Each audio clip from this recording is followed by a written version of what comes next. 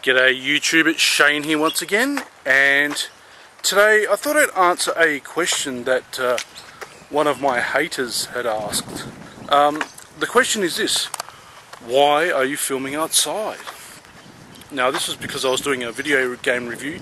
Now traditionally most people doing a video game review would do it inside but I thought I wanted to do something different and one of the reasons I film outside is because I'm not a lazy pig. Um, I want to get out, get the fresh air, plenty of exercise, plenty of natural light.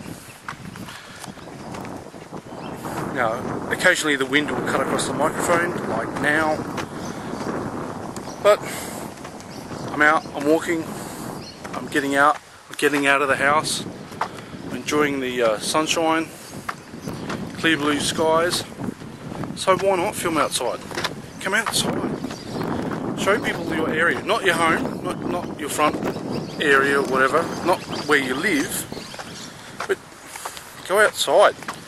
There's so much happening outside of YouTube, outside, in the real world.